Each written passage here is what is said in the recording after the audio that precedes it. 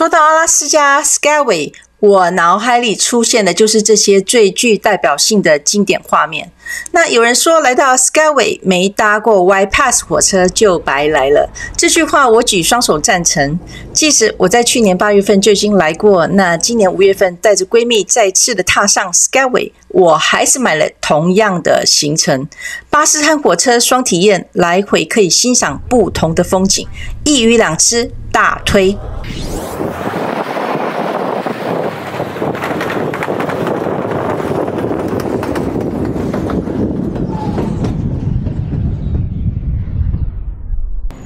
关于 Skyway 的历史背景和巴士火车的全程概述，我就不多说了，可以参考我之前的影片《阿拉斯加游轮白色通道御空景观火车》。虽然这集是同样的行程，但我会以五月份和八月份的火车巴士风景来呈现不同样貌的 Y Pass 御空，再用最简单的 Q&A 解说方式来提供最详尽的旅游指南，还有。还有其他相关注意事项，也都会在影片细节里哦。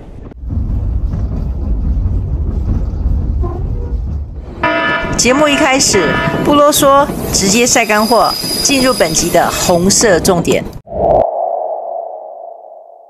巴士和火车的路径都是从 Skyway 出发，分别是沿着玉空河谷平行的走在它的左右两岸，所以不论你是搭乘火车或是巴士，都可以享受沿路的松林山泉、峡谷峭壁，还有冰雪覆盖的雪山。所以选到好的位置，让你上天堂；选错位置，会让你好凄凉。在这里跟大家分享我的笔记。首先来看看这个地图，你就有概念，火车和巴士该坐哪一边比较好？答案是火车上山时要选择左边，因为左边多数是悬崖。那说到这里，你一定会好奇的疑问：全程来回搭火车，不就是两边可以轮流看美景吗？那即使上山坐右边，回程下山也可以轻松享受美景啊。没错，但是别忽略了回程时少了解说，而且很有可能回程时你会太累了睡着了。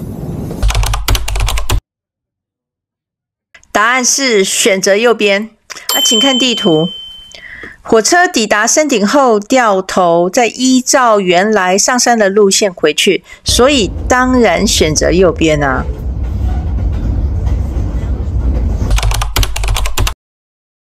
Y Pass 火车不是对号入座。那如果让我重新来过，我会选择最后的车厢。即使是坐在车厢里，还是有机会可以捕捉到整列火车蜿蜒过山的全景。那尤其是选择待在这个最后车厢外的平台，那站在这里，视野更加广阔，取景更是多元化。那你看看这个画面，就不用我多说了。你说这是不是观景火车的最佳摄影点？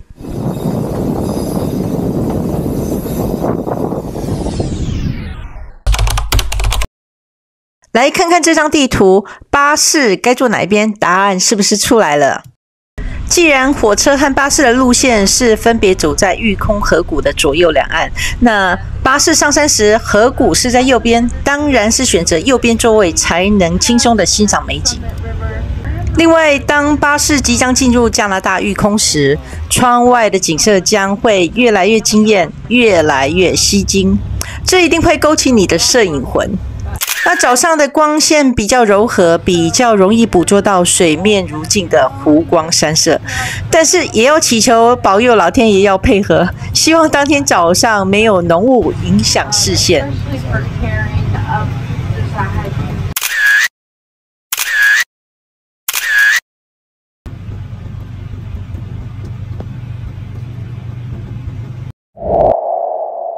我们来看看这张 Y Pass 御空地图。那红色的线代表的是火车路径，黄色的线代表的是巴士路径。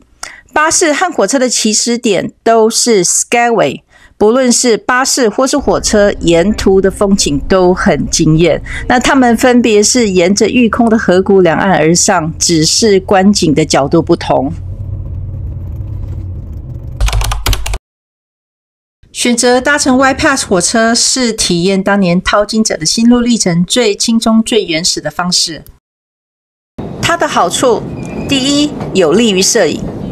Skyway 有很多的经典镜头都是和火车有关，那也有很多是在 Y Pass 火车的路径上所拍摄的。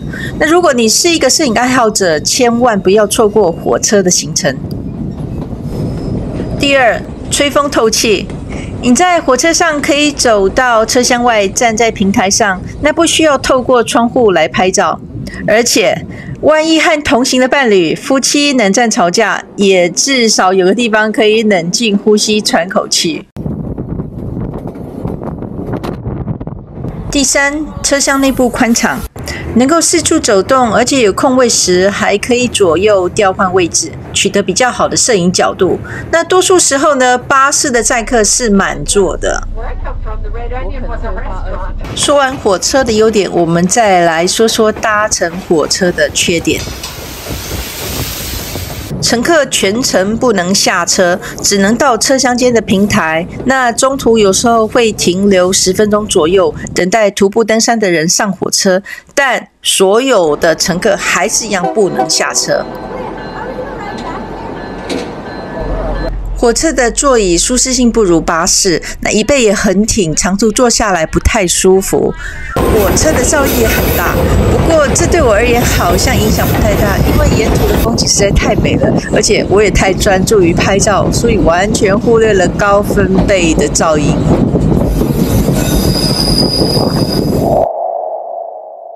会让我选择巴士犹豫空，唯一的理由就是中途可以下车拍照打卡。那以我购买的这个行程为例，过了美加边境进入御空之后呢，巴士会开始停靠几个景点给乘客拍照。这一点对我而言非常的重要，因为不能下车没踩在地上，单单是 window tour，这很难算是到此一游。比起火车全程只能在火车上看风景，那巴士行程可以选择的活动就更多了，而且。价钱也亲民许多。搭乘巴士的缺点就是少了淘金火车的怀旧氛围。克朗代克公路沿路风景虽美，毕竟还是不如火车的路径走在峡谷悬崖上。但也千万别忽略了巴士的优点。如果火车是主角，那么巴士就是配角，而整个 Y Pass 御空铁道公路就是一个大舞台。唯有主角和配角的演出，才能提高它的价值可看性。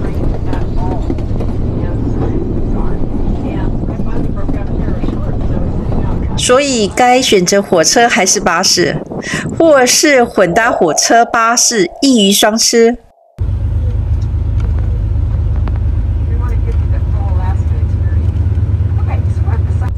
我个人超推混搭火车巴士。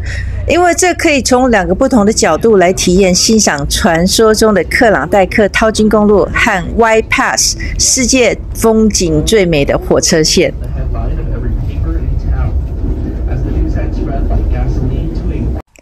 从地图上就可以清楚看出，如果来回全程火车或是来回全程巴士，那么您将看到完全相同的景色，因为都是同一条路线来回往返。所以在游轮岸上观光的有限时间里，选择混搭火车巴士，才可以享受两者的优点，一鱼双吃。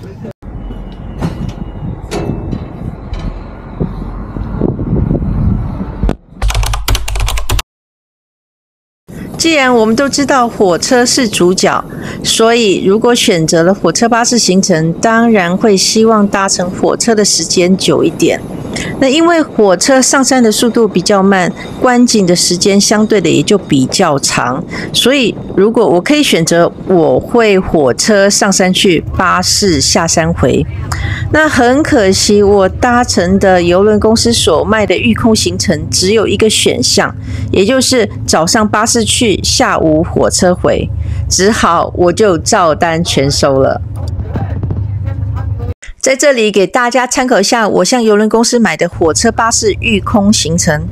在过了美加边境之后呢，我们总共下车六站，除了用餐和吃冰淇淋停留的时间比较久以外，其余多是短暂的停留三十分钟左右，让我们看看风景、拍拍照、伸展筋骨，最后才在 Fraser 下巴士转搭火车。那沿路翻山越岭、过桥、过两个山洞、穿越峡谷，我们看到了瀑布和断桥。那最终回到 Skyway 小镇，全程八个小时。那搭乘火车的时间只有一个小时又四十五分钟左右。想要更详细了解这个行程，可以点击荧幕下方或是片尾的连结。整个行程除了看风景、拍照，那比较不一样的是，Car Cross 它是当地附近仅此一家的餐厅商店，也应该是专门为游轮观光客所设立的。好像每个御空观光附带午餐的行程来到 Car Cross，一定会在这里用餐。那网络上说很难吃，其实也没有传说中那么难吃。除了两块鸡肉、一个甜甜圈、沙拉、马铃薯以外呢，还有咖啡、冰茶让你喝到饱。那餐厅还算蛮有特色，那旁边有个小小博物馆、小小动物区，后面还可以体验淘金的乐趣，还有。阿拉斯加犬的狗拉雪橇，那因为不论我是在五月份还是八月份去，在狗拉雪橇园区里面都不见雪的踪迹，所以在这里狗拉雪橇我就放弃了。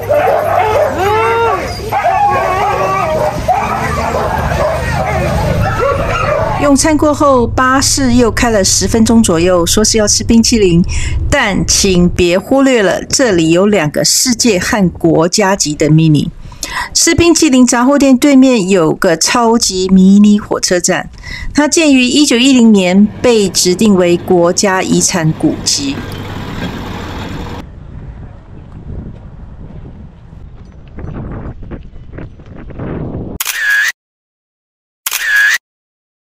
那另外，我们正要转弯离开 Car Cross，我又发现在这里有个号称全世界最小的迷你沙漠，很惊讶，在这个深山里竟然还能有个沙漠的存在。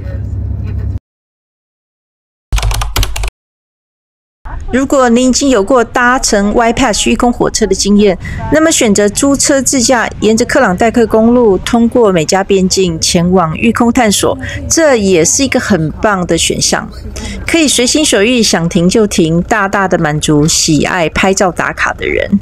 但切记，时间一定要掌握好。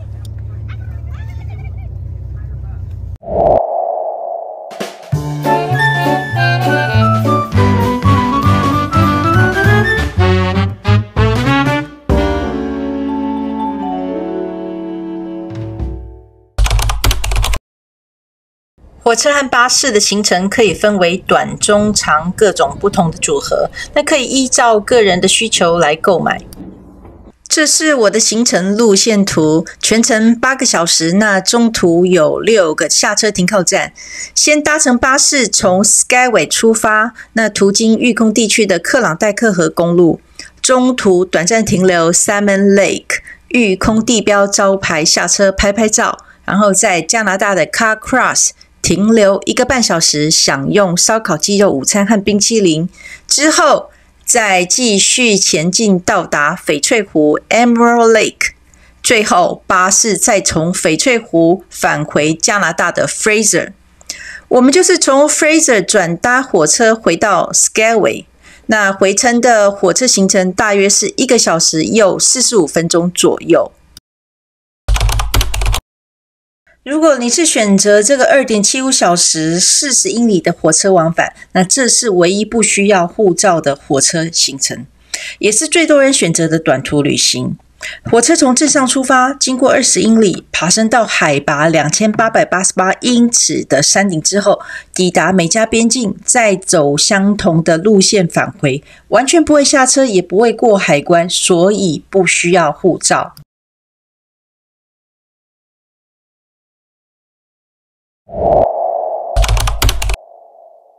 游轮基本上都是停靠在 Skyway 的市中心旁边。那这张照片里，我走在小镇上，可以清楚的看到游轮就在我身后。那走路五到十分钟就可以抵达，或者你也可以花几块钱美金搭乘这些市区巴士。那没买行程的人，大多数都会选择走路到小镇上逛逛。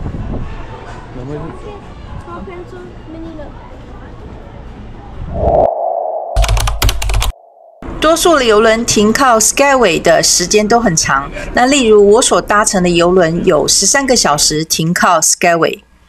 那如果你有购买八小时的 Y Pass 御空火车巴士观光，我会强烈的劝退计划购买第二个 Skyway 行程。虽然看起来十三个小时减八个小时，好像还有五个小时可以利用，但实际上扣除上下船的两个小时。剩下三小时，如果还要再应急一个观光行程进去的话，就太冒险了。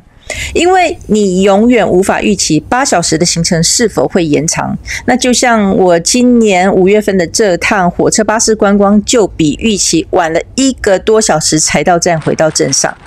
那当时我也只能带着闺蜜路边拍拍照，买个特色小吃，边走边吃。原本想到瑞阿涅 Saloon 吃吃喝喝的计划也都泡汤了。那碍于时间的紧迫，我也不想当一个 peer runner，所以我们只能够快走返回船上，匆匆的告别 Skyway 小镇。总之，行程结束后，如果还有时间，建议可以在小镇上走走、拍拍照、吃吃当地的特色美食，为您的 Skyway 画上从容不迫的句点。那当然，如果您买的不是八个小时的巴士火车行程，而是比较短的行程，那么请忽略我以上的建议。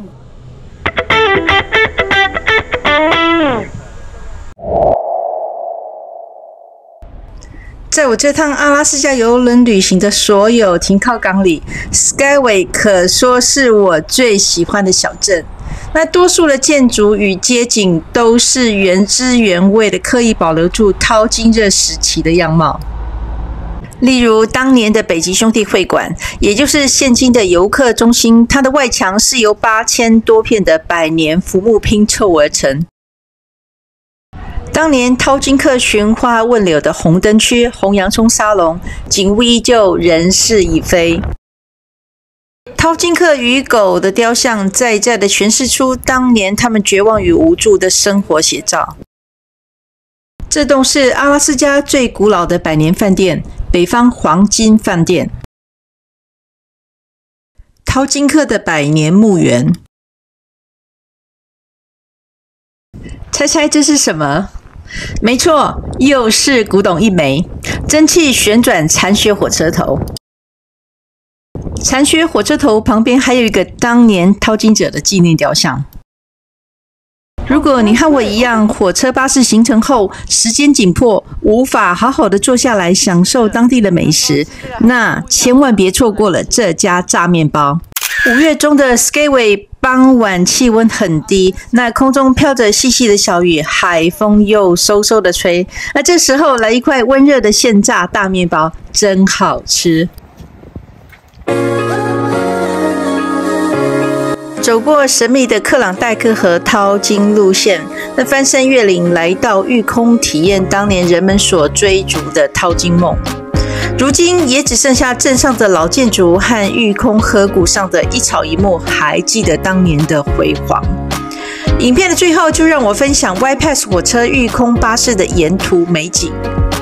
我不后悔重复这行程，因为五月和八月份的 Y Pass 御空火车巴士景色各有千秋，真的很不一样。